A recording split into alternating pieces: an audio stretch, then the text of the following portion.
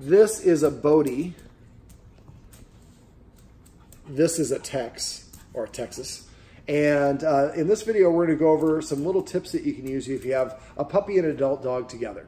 Now, uh, basically, uh, this is, you can see little Bohdi, he is the puppy, and he likes to, uh, to really, he pesters uh, Tex here quite a bit. And I think part of this is uh, he really is under-exercised. Um, he gets to play around in the backyard a little bit. Um, he goes to our puppy classes and he does well there. But I think basically he keeps on coming to Tex and saying, Tex, it's your job to, your responsibility to get me some exercise. And uh, so I haven't seen it really bad. He's growled at him. He snapped at uh, Bohdi a couple times, but minor deals. But a lot of the times, Oh, there we go. That's very good. See, Texas can do stuff. He's just not motivated to do stuff. But basically, there have been times where Texas has kind of gone after Bohdi. Now, what I've seen here is a little a growl, a little air nip, and and that's it. Um, but the Guardians haven't been disagreeing all the time and kind of hoping that they kind of sort it out amongst themselves, which a lot of people do. Now, remember, every time you push your dog down, you're just going to make the dog come back again. Oh. So just ignore. Okay. And just go ahead and go back to your original seating position. There you go. So now part of this might be that Tex here is a little bit possessive of this guardian because these two were a couple. Then this guardian entered the equation and then he came in. So uh, now Tex has to kind of share where he didn't have to do any of that before. Also, the Guardian doesn't have any rules for Texas and just really fawns all over him. And so he could be a little bit petulant and think that the world revolves around him. So I talked a little bit off camera about incorporating some rules and, and making sure that we're enforcing those so both dogs see that, that yes, you too, you little kink stinker. He's trying to get in my treat pouch right here. Um, but basically, the more rules and structure that we can provide, the more the dogs start to see and identify us as being authority figures. I think these dogs think that, uh, well, I think that Tex thinks that this person right here is here to service him. Um, so um, some of the things we went over with uh, would be passive training and petting with a purpose.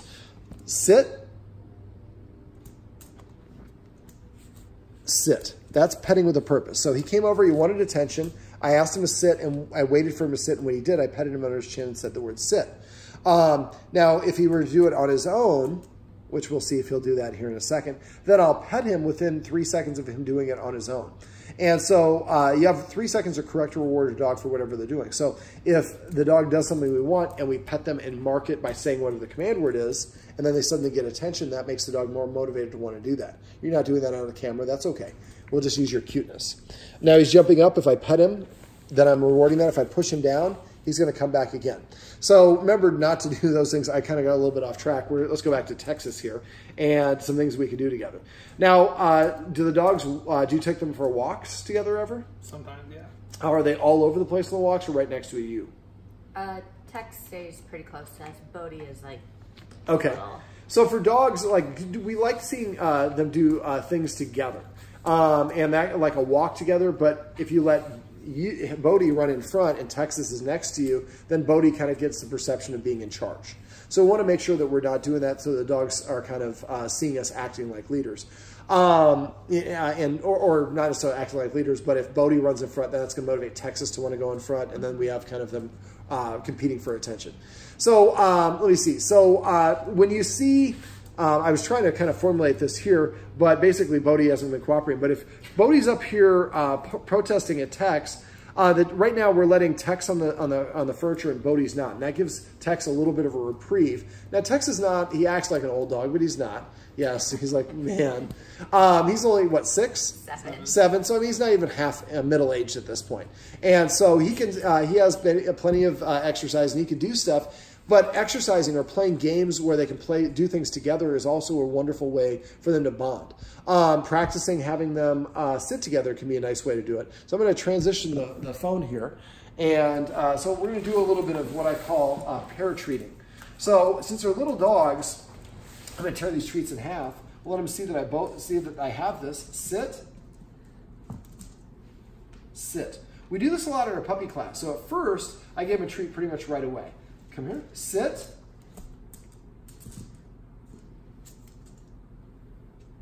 Up. Sit. Now I kind of delayed that second one a little bit so they it had to kind of remain in the sit for a minute. Sit.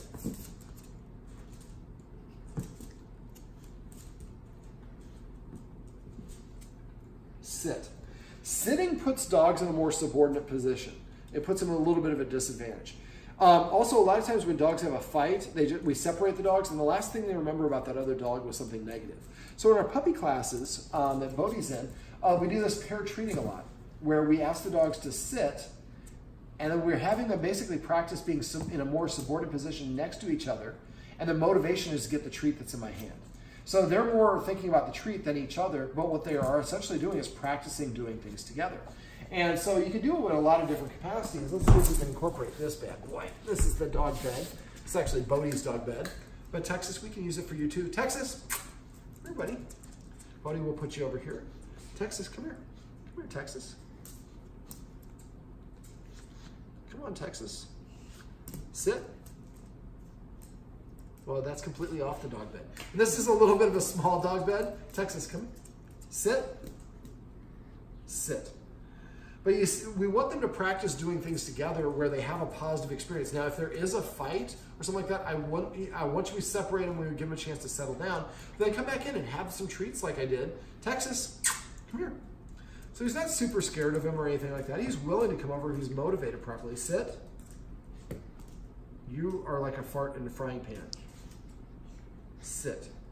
So they both were here. They both were getting treats. They're lingering near one another. Down, down, down. So you can put them sit, down, all the different commands that they know, but having them uh, have a joint experience can be really helpful. Um, really, he just kind of Texas, I think, sees him just being a nuisance. He just bounces, he won't shut up, he just keeps on pounding away. Finally, after I lose my temper and I yell at him or I bite him. And so, because the guardians are not inter- uh, interceding. So because he's a puppy and he has a lot of energy, um, I would recommend when he comes over and he's being a nuisance, that we interpret that as his way of saying, I have too much exercise, energy. So he's pestering Texas, I want you to pay, uh, pay attention to me. Well, we can use different things to keep him, to exercise him. So this is a nice way to exercise dogs, um, as long as the dog's not too manic about it. And I can run him down the hallway. Yeah, don't let him look up here, because if he looks and sees it here, he'll stop looking at the floor. Um, but so what I'd like the Guardians to do is when when when Bohdi is being a bit of a pill to uh, Texas, is interpret that as Bohdi's way of saying I have too much energy. So I need to play, uh, run up and down the stairs to get treats. I need to chase laser. We were playing fetch, and a fetch would be a great way for him to do that as well. So it, that helps the dog see that well, when he's being a nuisance, the the humans come in to handle the situation for me. So I don't have to correct him. The humans are going to do that by depleting his excess energy, we put him in a position to succeed because he gets done, he's going to come over here and plop down and catch his breath. Um, and so I talked about starting an exercise journal to figure out how much exercise he actually needs. Um, but coming up with those sort of things can be really beneficial. Walking them together, as long as you get them walking next to each other. We, what we want to do is we want to build up some positive credits of them doing things together where they enjoy it. Um, I also talked about uh, feeding. Now, he is, uh, Texas basically has uh, it could be resource guarding. I think he just growls a lot when, when, he comes near, when he has his bowl down, even the bowl's empty. And so probably because Bohdi tries to go over there and take his food. And so that's natural in the dog world. So by going to a structured eating and making sure that when Texas is eating, uh, Bohdi's not allowed to be in. And right now, Bohdi's fed in his uh, long-term confinement area. But right now, when the guardian eats, Texas is like right there and he'll try to steal food from her and she doesn't disagree with that. Or if she's cooking food, he's allowed in the kitchen as well. So he doesn't have any practice at restraining himself. He thinks he should just get anything he wants whenever he wants. And it's fine if you have one dog, but you bring another dog and a puppy at, to boot, then it's going to create some problems as well. So this is really a weird video because normally I'm like doing an exercise when I'm talking about one specific thing, but there's a whole lot of little things that you guys can do. Most importantly, interrupting when he starts being a pest to him, getting him some exercise, and then after that, before you let him finish, do a little pair treating. Or go for a little mini walk. It doesn't have to be a long walk. Walk him into three houses back and then back here. And then, you know, that exercise can help deplete their energy. And then they were, the last thing I remember about being with that other dog was something good and positive that they liked. Come here, Bohdi. Come here, Bohdi. Oh, well, this is a Bohdi. Yes. Wait, he's, he's a cute little fur ball. And right over here is Panda Tex. This is Texas. Yes, also a very handsome fellow. And these are some tips and tricks you can use if you have an older dog and a young puppy and they're not always getting along. Yeah.